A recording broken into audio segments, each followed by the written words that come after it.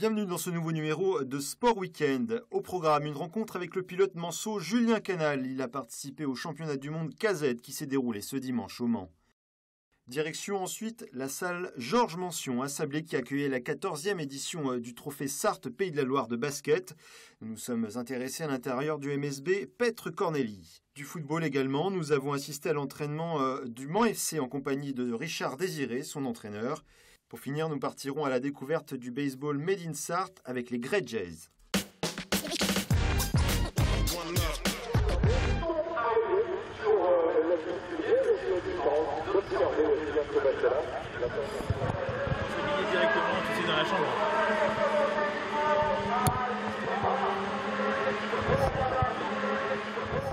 Pourquoi le kart? Parce que le kart, euh, c'est euh, mes premiers amours.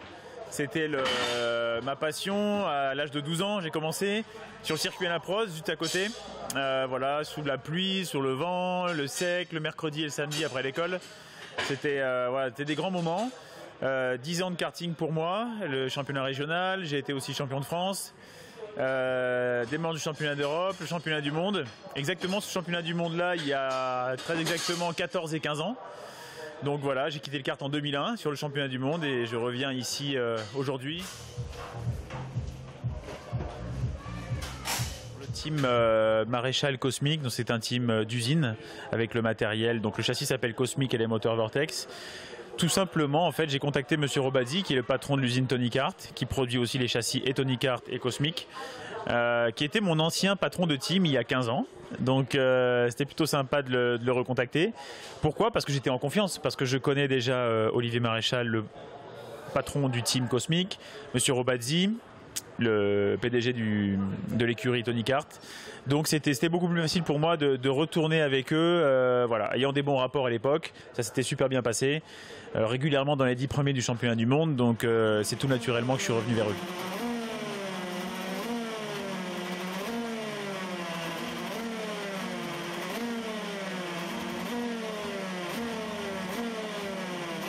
C'est une très bonne personne, je le connais depuis maintenant à mon avis une quinzaine d'années. Il a roulé pour nous euh, dans les années 2000-2001. Il a fait le championnat du monde en, Super 1. Donc c'est un garçon très sympathique, euh, avec une famille euh, vraiment très, très gentille. Et donc c'était un plaisir de, l'accueillir pour les championnats du monde ici au Mans. son comeback nous a fait bien plaisir. Et voilà, il est toujours aussi charmant. maintenant, bon, c'est devenu on va dire, euh, un homme. Ce n'est plus l'adolescent qu'on connaissait, mais voilà, tout aussi sympathique et on a retrouvé euh, vraiment une bonne, euh, une bonne ambiance et une bonne complicité. Et je pense que pour les deux parties, c'est une, expérience agréable. le karting, voilà, c'est un, un karting avec un moteur de 125 cm3, avec une boîte de vitesse à 6 rapports. Euh, pour, euh, pour changer les vitesses. Donc c'est assez simple. On a juste un embrayage pour enclencher la première et pour faire le départ. Un embrayage avec le levier de vitesse, voilà, qui se trouve juste devant. Et euh, à la suite de ça, on reste à fond à fond entre chaque vitesse. Pour passer les rapports au-dessus, on a juste à lâcher un tout petit peu la, pédale d'accélérateur, un petit peu comme en moto. Et pour freiner aussi, les vitesses, on peut les, les tomber et les descendre à la volée. Euh, un kart qui fait euh, aux environs de 50 chevaux. Euh, voilà, pour un poids total entre, entre le karting plus le pilote, la réglementation c'est 175 kg. Donc je vous laisse faire le rapport, 175 kg pour 50 chevaux. voilà, quand on a des voitures qui font 500 chevaux, c'est comme si on avait vraiment une puissance incroyable, un freinage qui est juste incroyable aussi, hallucinant. Ça freine très très court puisque ce karting euh, dans la catégorie KZ, championnat du monde en 125 cm3, il y a les freins à l'avant. Des freins, deux freins sur chaque roue avant et un frein à l'arrière. Donc voilà, c'est ultra puissant, très violent. On peut comparer peut-être un petit peu au motocross. Voilà, donc c'est un, super bel engin. On a aussi des acquisitions de données sur le karting, un peu comme en, championnat du monde d'endurance, un peu comme sur ma voiture, où on voit les vitesses, les changements de rapport, euh, la pression de frein, l'accélérateur. Donc c'est voilà, c'est le, championnat du monde euh, KZ ce week-end, c'est juste la Formule 1 du karting. Ben, moi j'arrive à faire le temps, mais c'est-à-dire qu'une fois, et puis j'ai du mal à C'est un moment là où euh, il y a un petit peu d'attente, mais euh, on essaye de, rester focalisé sur le, sur la course, sur le départ, et puis se, remémorer un petit peu les premières choses qu'on a à faire dans les, dans les premiers tours. Et voilà, essayer de faire le vide pour être concentré à 100%.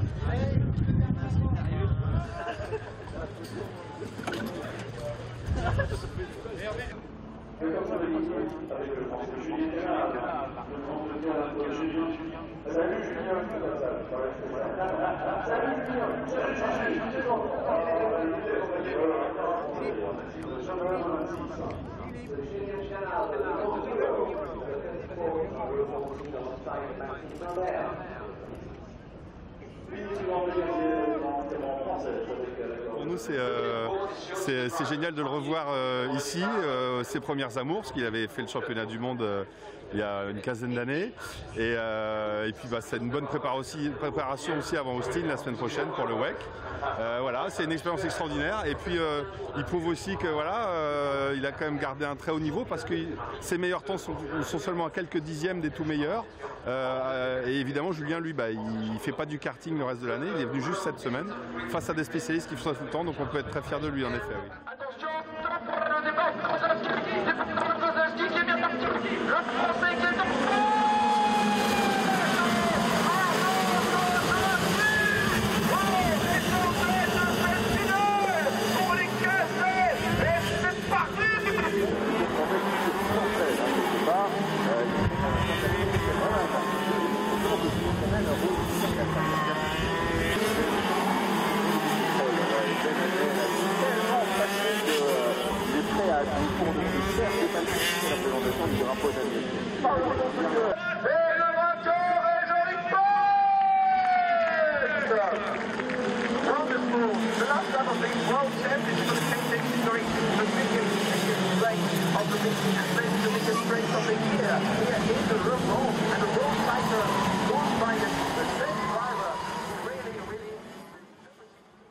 Une conclusion à ce week-end, beaucoup de beaucoup d'efforts, beaucoup d'émotions.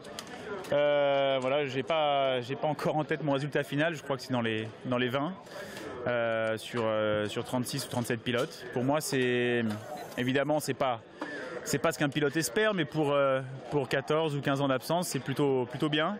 Voilà, j'étais à 5 dixièmes des meilleurs temps, des pilotes qui gagnent la course. Donc c'est plutôt, plutôt super encourageant. Et puis voilà, c'est comme je vous le disais, c'est le retour aux premiers amours, c'est le retour à la, compétition en karting. Et donc voilà, très, fatigué. voilà, et puis, et puis maintenant direction Austin la semaine prochaine pour le, pour le championnat du monde WEC.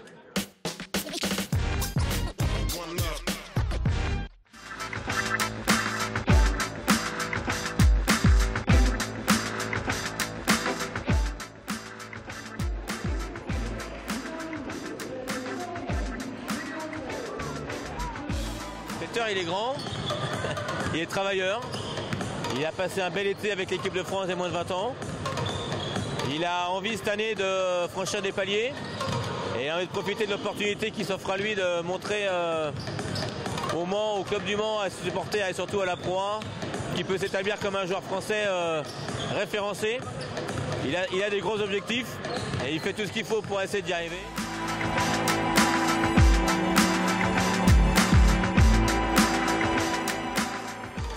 Et Peter, c'est quelqu'un qui est très attachant aussi parce que ça fait quand même un petit moment maintenant qu'il est au Mans et on a tous envie de faire en sorte qu'il puisse puisse atteindre ses grands objectifs.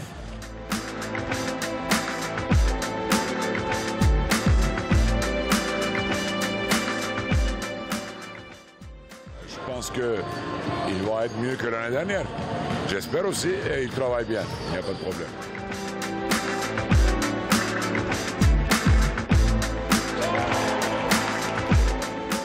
Qui est, plein de, qui très gros potentiel. On croit beaucoup en lui, je pense qu'il peut faire des grandes choses s'il travaille bien. Et c'est un garçon très sérieux, donc je lui souhaite le plus bel avenir.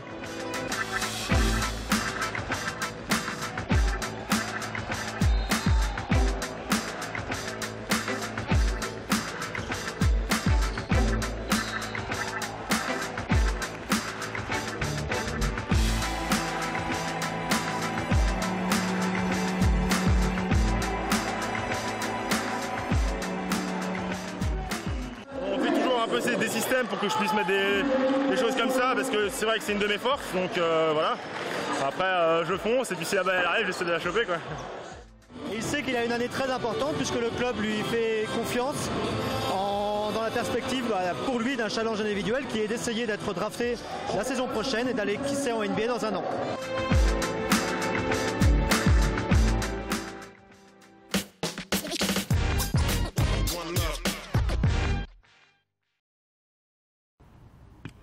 C'est un coach euh, très rigoureux, un peu à l'ancienne et euh, c'est quelqu'un de, très exigeant avec nous.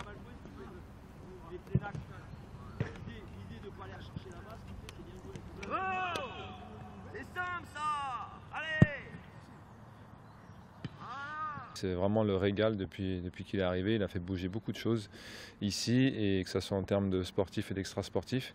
Et je pense que voilà, si tout le monde euh, fait comme on est en train de, de faire de, depuis le début, de, de respecter euh, tout son travail, euh, on peut faire une, une très très belle saison. Tu as dit 1 ici, tu as dit 2 quand il a touché. 1 c'est là, ça veut dire que quand vous entendez 15, ça veut dire que la 15e elle est faite. Parce que là, si je la mets, il a là, tu la comptes pas. Normalement, elle, joue plus. Non, mais le 1, c'est pas quand toi tu tapes. Le 1, c'est quand il apprend. Je pense qu'il nous fait progresser individuellement et, et collectivement. Ça s'est ressenti pour l'instant sur les, sur les trois premières rencontres qu'on a, pu, qu'on a pu faire ensemble. Euh, voilà, je pense que le groupe a encore beaucoup de potentiel.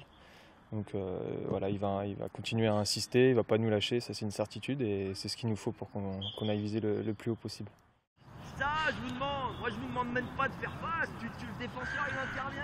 Donnez un angle. Je veux qu'il y ait une course vers l'avant. Je veux pas que vous vous retourniez derrière. Oh, il y a remise et c'est ça. Il y a remise et c'est ça. Allez. Ne renvoyez pas les ballons, vous avec ce qu'on a là. Côté gauche, c'est parfait ce que vous faites, Pierre et Guillaume. Oui pour un coach, euh, c'est forcément d'essayer d'avoir les, meilleurs résultats. Après, euh, moi je suis surtout focalisé sur ce qu'on doit mettre, sur ce que l'on doit faire. Euh, je définis mon métier comme étant un réducteur d'incertitude.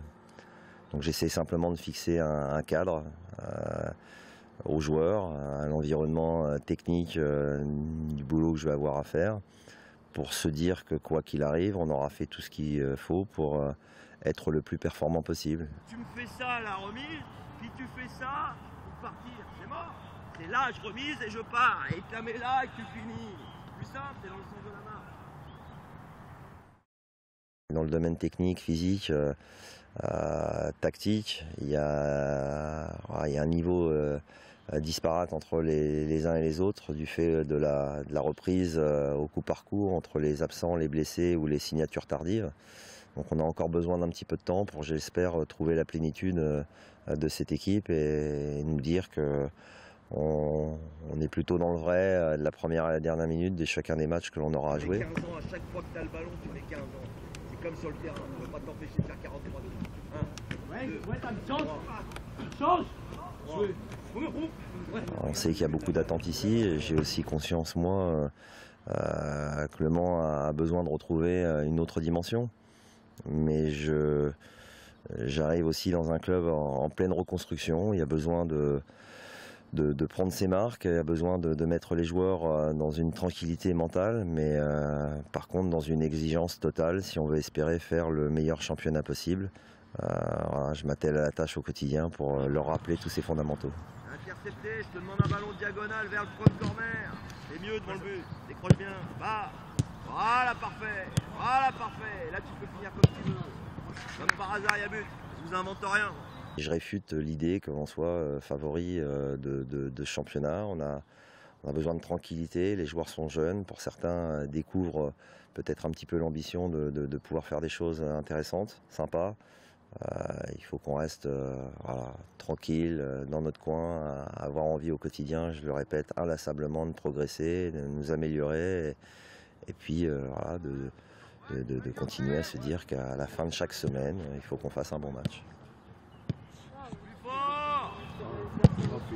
Pas qu'il l'attende, c'est un ballon de but, soit parfait. S'il est trop court, là, le défenseur, il intervient. Le coach nous a dit qu'on avait 26 missions. Pour l'instant, on en a rempli 3, il en reste encore 23 à faire. Donc on va essayer de tirer le maximum de points sur chaque match. donner le maximum et puis, et puis on verra, on fera les comptes à la fin.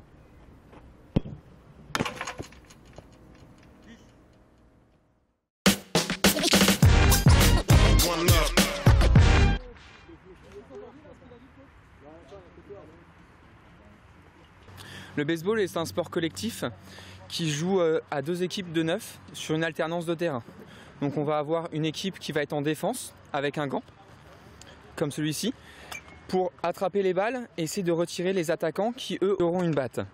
Je vous présente une, euh, balle de, baseball, donc qui est assez petite, qui est assez facile à prendre en main et donc également à lancer. L'avantage de la taille aussi permet qu'elle aille assez vite. Elle est assez dure puisque le cœur est du liège et ensuite c'est entouré de filaments qui est très très compacté. Voilà. Donc il faut savoir que moi je fais du softball et la différence entre le baseball et le softball, c'est que la balle est un petit peu plus grosse et elle est jaune et elle est un peu plus molle. Euh, autre particularité, le terrain est un petit peu plus petit et le lancer ne se fait pas au-dessus de l'épaule, mais euh, en, dessous, en dessous la hanche. Toujours une droite. Moi, je suis catcheur de l'équipe des Grey du Mans. Alors mon rôle à moi c'est de recevoir la balle du, lanceur, donc du pitcher en anglais. Et mon, deuxième but c'est d'être les yeux du terrain. Donc observer les équipes adverses, savoir leurs qualités et leurs défauts. Euh, chose très importante pour un receveur c'est d'être équipé. Alors nous avons une grille, donc un casque pour protéger le visage, un plastron qui nous protège le buste Ensuite, nous avons les jambières qui nous protègent au niveau des genoux, du tibia jusqu'au pied. Et nous avons aussi les petits coussins pour le petit confort aussi, des knee savers. Et voilà. Et chose très importante pour les hommes, une coquille. vous, on va commenter un, petit bout du match des Grégets euh, contre Montigny pour vous expliquer un petit peu les règles et puis euh, les différentes euh, positions des joueurs. Deux strikes, ça part, le lanceur rattrape la balle, la renvoie à la première base qui donc retire le joueur qui est en train de courir jusqu'à la première base et donc qui est retiré.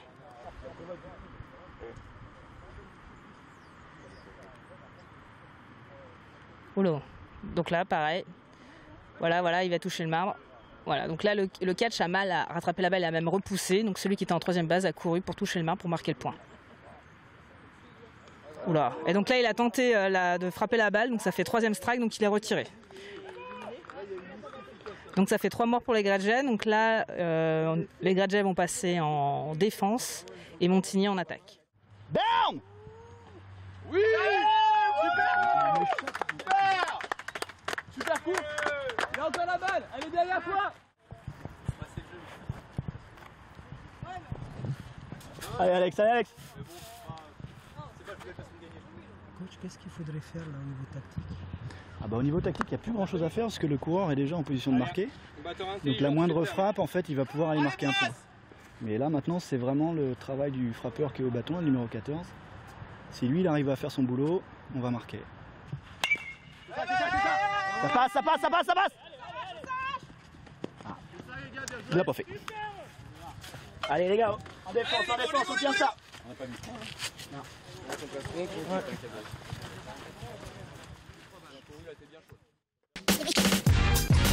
one love. Le prochain match, on est déjà dans, le dur, je dirais, puisque c'est euh, le derby sartois contre, contre le CV. Donc là, euh, le CV vient de monter. Nous, on a eu quelques départs, qui, voilà, qui, et des arrivées, bien sûr, heureusement. Et euh, donc, on ne sait pas trop où se situer. Donc, samedi, après le match de, de l'ECV, on saura vraiment comment, comment se situer. Mais c'est toujours intéressant d'avoir un, un, derby parce que ça permet de faire aussi un peu de publicité pour le hand sartois et c'est très bien ce premier match à domicile, euh, nous avons la joie d'accueillir euh, Ponton Combo sur la poule O et euh, Roche-les-Beaupré sur la poule P. Donc ben, voilà, on espère les spectateurs nombreux pour venir encourager et, démarrer cette, nouvelle saison, cette nouvelle aventure.